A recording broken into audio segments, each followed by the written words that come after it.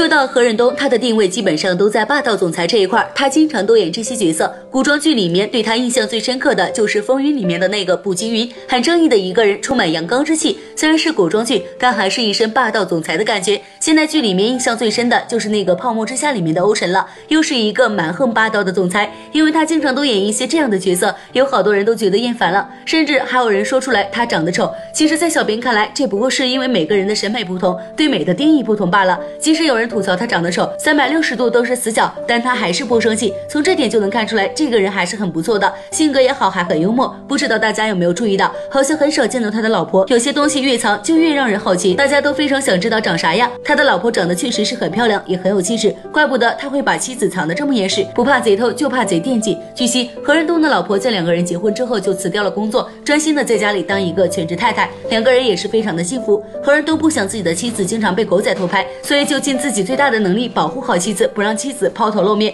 出现在闪光灯底下。本期节目就到这里，我们下期再见。